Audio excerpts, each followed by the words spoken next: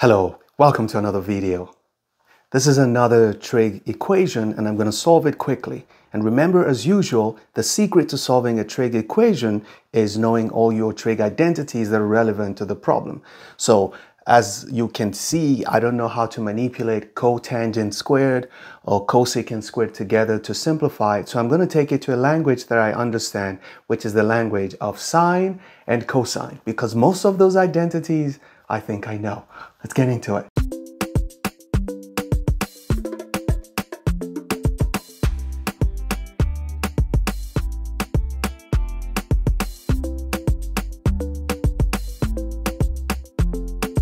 The first thing we're going to do is rewrite each of these terms in terms of sine and cosine. So we're going to say that this is 2, uh, cotangent is cosine, so it is cos squared theta over sine squared theta plus, and cosecant is uh, 1 over sine squared theta, and you have minus 2 is equal to 0. So now because I have a 2 here, what I can do is, in, in fact, let's get rid of the denominator, okay? The denominator, remember, sine squared theta, every time you solve an equation, you want to get rid of the denominator or all fractions. So we're going to multiply each of the terms by sine squared theta. So let's do that. If I multiply this by sine squared theta, I'm going to end up with just cosine squared theta on top, which is going to be 2 cosine squared theta. Plus, that's interesting. If I multiply this by sine squared theta, I'm going to get 1. If I multiply this by sine squared theta, I'm going to get 2 sine squared theta. And if I multiply this by sine squared theta, I'm going to get 0. Okay, this is getting interesting. Now, so this is where you have to now recall any trig identity that you know. I know that cosine squared theta minus sine squared theta is the identity for cosine 2 theta but both of them have twos. So actually, I can actually pull them together because some students will freak out and go, okay, um, but this is supposed to be cosine squared theta plus sine squared theta. If there is no plus, if it's a minus, then it is cosine 2 theta. If there's a plus, then it becomes 1. So remember to uh, not freak out because it's not plus. Cosine squared theta minus sine squared theta is cosine 2 theta. So that's what I'm going to generate here. I'm going to say this is 2 cosine squared theta minus 2 sine squared theta. Then I put the 1 in front is equal to 0. Now we can factor the 2 out. So we can say that 2 times cosine squared theta minus sine squared theta plus 1 equals 0. And now we know that this is cosine 2 theta. You have to know this. Plus 1 equals 0. So we have changed this very um, cryptic equation into something we can easily solve. So let's get the 1 over and just isolate this. So we're going to have um, 2 cosine 2 theta is equal to negative 1 when this goes over, so that cosine 2 theta will be equal to negative 1 half. So all you have to ask yourself now is what angle is such that when I take the cosine, I'm going to get negative 1 half. I always like to sketch. And remember, oh, I forgot to tell you the restriction. We're going just from 0.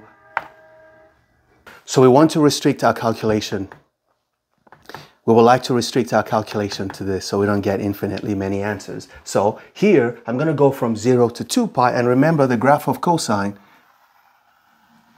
is like this, okay, from 0 to 2 pi. So you want to look for all the points where you're going to get negative 1 half. As you can see, there, there's evidence, so this is negative 1. Let's call this negative 1. So negative 1 half is here, so you have this point and this point. And if you've memorized your, your um, your chart, you know that negative one half occurs in the second quadrant where this is at 120 degrees or what you call um, 2 pi over 3. So we're going to get 2 pi over 3 and if you go to the next, so this is, look, this is the first quadrant, there's nothing negative about cosine. Second quadrant, you got something. The third quadrant also, you got something. Okay, so we can say from what we have here that our 2 theta will be equal to, the angles that generate these negative 1 half values will be, generally for cosine, will be, uh, what did we say again? Will be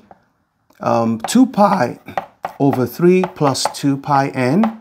Well, it depends on what n is, and we're going to see how many times you can get that between 0 and 2 pi. So it's safe for you to go this way, and then you say, or you can say that 2 theta is equal to the next angle here is going to be, what would it be?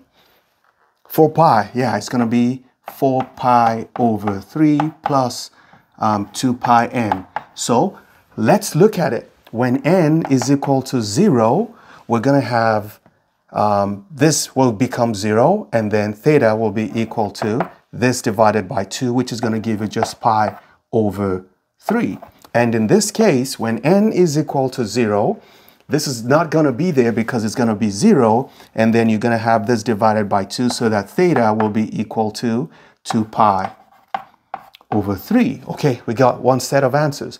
Remember, as long as the value you get is within 0 and 2 pi, it is acceptable. So let's go to the next one. When n is equal to 1, we're going to get theta equals, so it's going to be 8 pi over 3 that's 2 pi divided by 2. That's going to be 4 pi over 3. Let's just write the answer. So you're going to get 4 pi over 3. And we're done.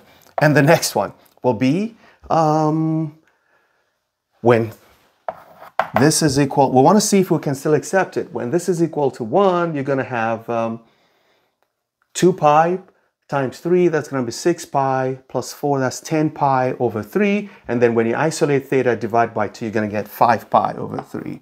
Okay. Now, are all these still within 2 pi? Yes, because this is less than 2, this is less than 2, this is less than 2, this is less than 2. So we are good. So all of your answers are these for this equation. Never stop learning. Those who stop learning have stopped living. Bye-bye.